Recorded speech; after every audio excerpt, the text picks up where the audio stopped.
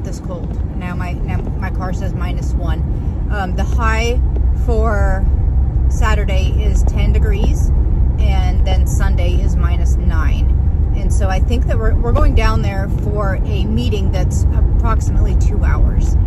And then um, I think we're going to try to stay the night there if we can find an Airbnb that's reasonable and warm. and um, so we, we have a very reliable car, so we're not really concerned about um, getting stuck anywhere or anything. And there are places we have to go up into the pass and over the pass and then down into um, down into the peninsula into uh, into Seward or Soldotna. And um, so there is some different areas where there where it'll be colder and there's places where there'll be a lot more snow and things like that. But we're pretty confident in our car and I'm very confident in David's driving and um, and mine as well. But he'll probably be doing most of the driving. We, we always, you know, when we go on longer road trips, we'll have food in the car with us. We'll have drinks with us. Um, and we have we both have a phone and we tell people where we're going so we don't find it necessary to um, to bring lots of extra things with us to prepare for you know just in cases. We're not just in cases people. Um, we're pretty minimalist and pretty basic simple people. So you know if we run into trouble, always people. That road, you know, people drive that road a lot, and we're not afraid to ask for help. And there's, you know, people are very willing to help. There's always truckers running up, running the highways, and they definitely, you know, definitely get help for you. And there's, I mean, there are truckers running every highway um, in this state, and they will, you know, they will stop and help you if they see you out there needing help. So we're not we're not going to be stranded. Um, there are some remote places where you will not see truckers, but where we're going, this is a major road. We're, we're doing a, a winter road trip in Alaska, and as long as you have a reliable vehicle and you know your surroundings and you know where you're going, I think things can happen. But I don't know.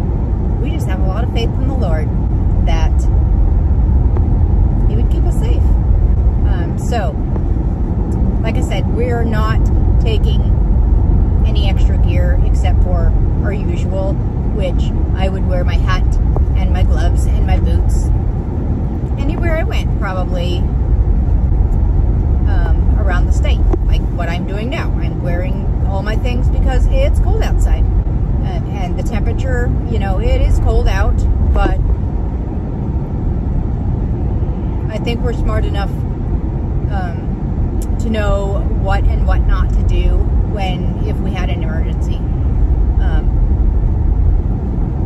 as far as if the, if the car died, uh, if we had an accident, um, we have emergency you know, there's truckers, there's passing cars. Uh, they, uh, these major highways, they actually, uh, you know, if you're far away from town, they don't send out the ambulance. You know, if you're in, you know, they will send out a helicopter to pick you up if, if that's the case. So, just saying, we're going on a long distance trip and we're just going to go and enjoy it and we're not going to spend a lot of money because we're pretty basic. We're going to find a cheap B&B to stay in and stay the night and drive back the next day and we are taking our own meals and maybe we'll show you. Maybe we'll show you the B and B. Maybe we'll show you. Uh, we'll we'll probably show you the the road down there in different spots or any any really cool scenery. Um, maybe we'll show you what we eat while we're away on this trip. Um, yeah. So and then Sunday morning. Um, Sunday morning, the plan is to uh, go to church in Soldotna. We really enjoy um, going to church in other towns. It's, I don't know, it's just something we really like. It's kind of cool to just go, you know, anytime we're on a vacation or anytime we go to another town to visit, we always find a church to go to. Um, and, you know, we just love these tiny small town uh, little churches. And so, and the people are always so nice, and it's just nice to meet new people. And so, that's the plan. So tomorrow morning, uh, we'll get in the car and we'll we'll get on the road and start our trip, and we will see you then. Little update: David did find a um, Airbnb that. Um, it's like $140 for the night, something like that. Um, but it's dog friendly, so Maddie can go with us. And um, it, you know, a hotel would be cheaper, but we want to take Maddie with us. And um, so that's the plan so far. So yeah, come along with us on this little road trip. We like going, we like just going on adventures sometimes and just going to other little towns. So.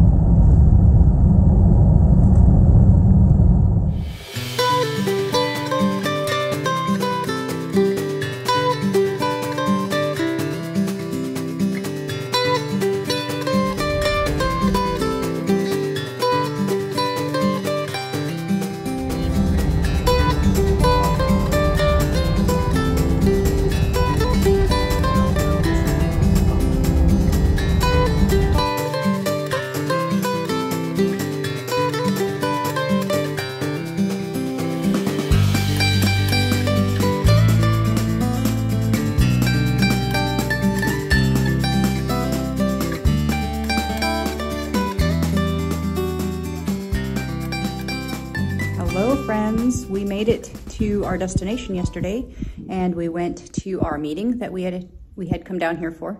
And then we came and stayed at this wonderful Airbnb here in where are we? Sterling?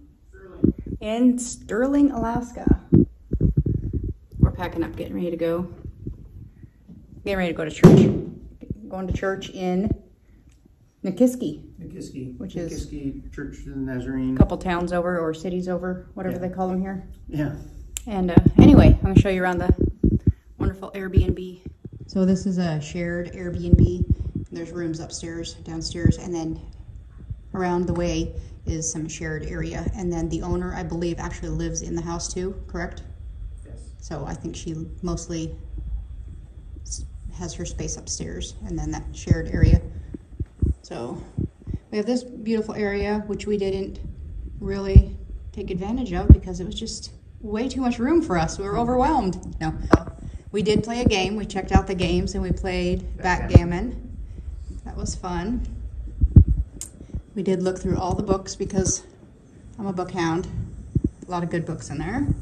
And then this, this is wonderful. This is our big bathroom that we got. This bathroom, as soon as I saw it, I was like, oh, it's bigger than our house.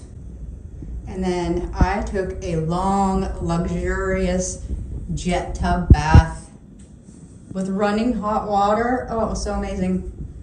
So, so you gotta tell me, what was it like staying in a place with running water? It was great because, okay, we're on a fluid uh, fast for 21 days, and look, I didn't have to go outside to go to the bathroom. I got up like three times and just walked down the hall and went to the potty. It's amazing. yeah.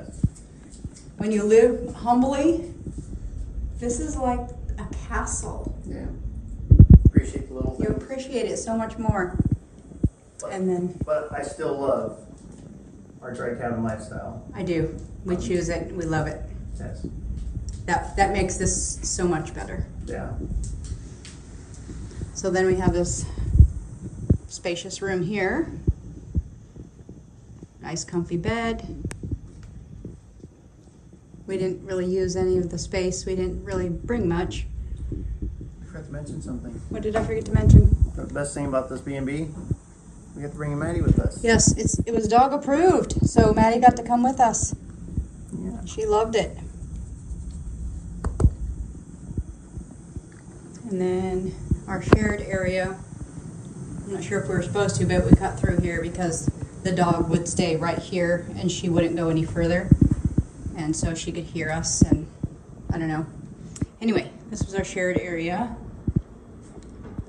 And here at this tables where we played backgammon last night. And I'm sure it's very pretty outside, but it's really cold. It's below zero, so we didn't really look around outside much. I have coffee and there's things available, which we're on a fluid diet. So, and we don't have we don't drink regular coffee, so we brought our own. So we just used a pot and a couple cups. So we've been on a um, liquid fast with our church and for um, for a purpose. And so we're doing a prayer and fasting for 21 days, and it's fluids only. So we've been drinking broth, chicken broth, uh, beef broth, onion broth, mushroom broth, um, all the broths. And we're also at the same time as um, we're staying keto. So that's difficult, um, making sure that we get what we need in a day for a day.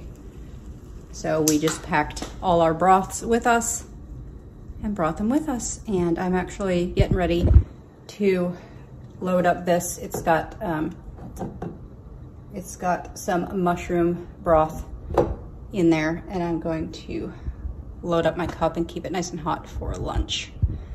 So yeah, we're getting ready to leave and this was a beautiful, beautiful place to stay. And it was great that we could have our dog because last year we came down and stayed and we had to leave our dog um, with someone because she wasn't allowed in the in the Airbnb. And so it's really nice to have a place where you can bring your dog because she's part of the family and we can't leave her at home.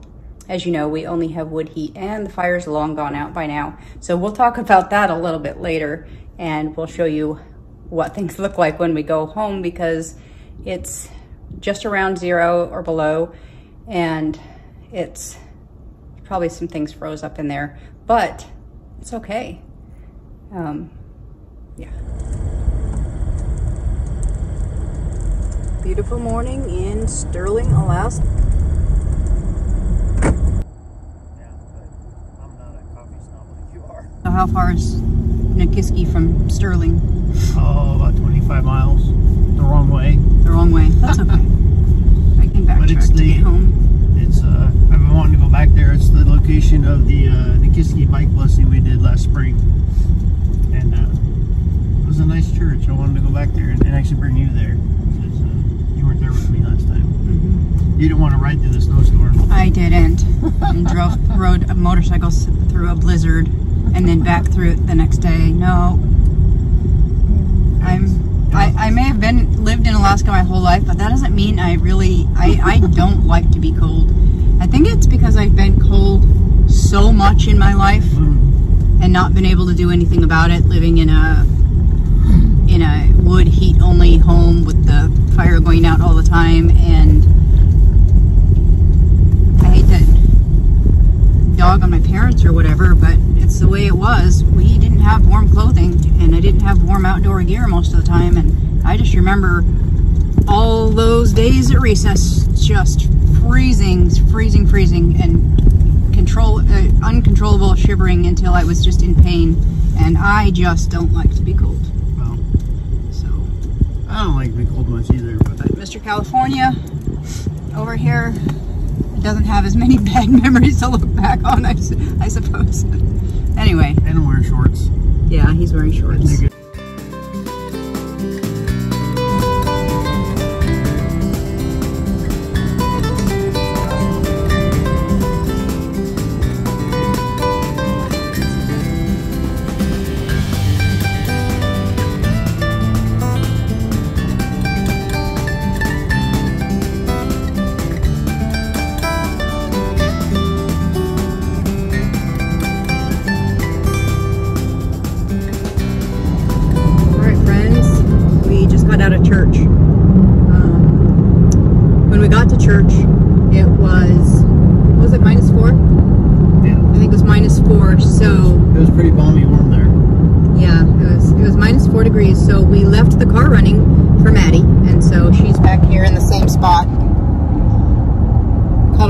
Blanket right there, and she was toasty warm in here, so... She kept the car warm for us too. and it was Yeah, nice when we got when we got back in the car, it was terrific. So no worries about a cold dog and negative temperatures. She was well taken care of, and and so we're headed off to we're headed home, but we're gonna stop by a gas station first because So we have gas. We have half a tank right now. We have plenty of gas to get to Anchorage.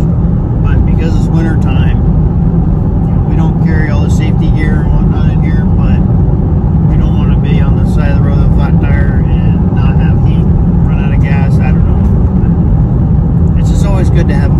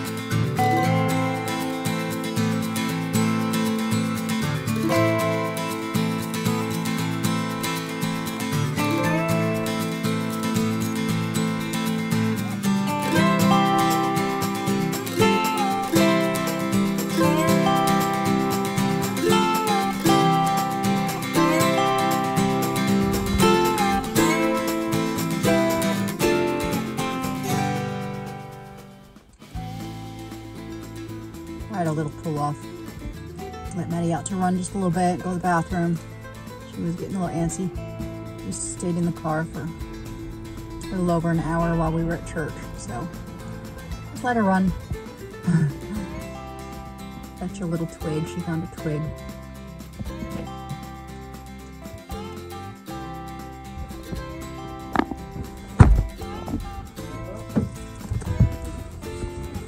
Have fun, Maddie.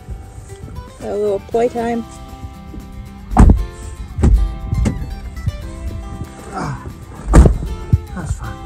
Chilly out there.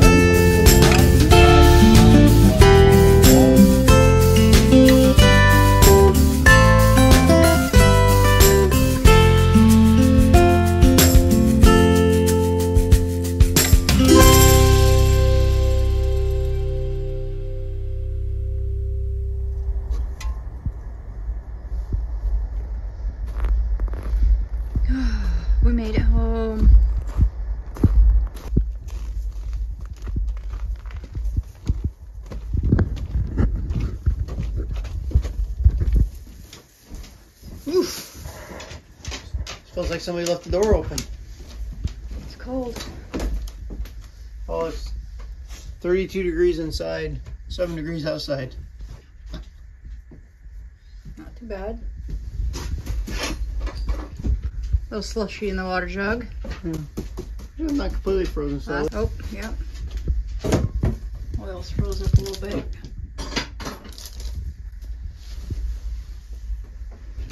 That one's full, so it's not. Oh yeah, it's a little icy. Not bad. 32 is not bad. All right. Got the fire cooking. Is it warm yet? It's warm right here. Right there. Is that dragon breath or cold in here? I'm ready for some good decaf coffee.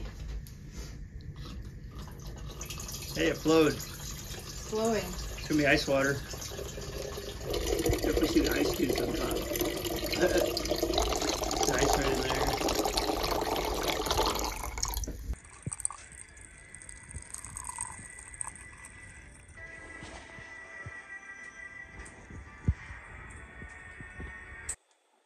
was Maddie's bowl. I had to put my foot in the in the ice to get her some water. But she got water. And she got dinner. And she's got her couch. Right? You're home. So cozy. It is seven o'clock and it's forty-two degrees. And the fireplace here is thirteen hundred degrees. Fahrenheit. The 700 Celsius. Oh, yeah. It's quite toasty right by the stove. You still have your coat on.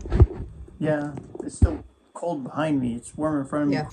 All right. Thanks everybody for joining us on this adventure today, this weekend, not today, this weekend. And uh, if you enjoy this stuff, leave a comment below. Don't forget to like, subscribe, all that jazz.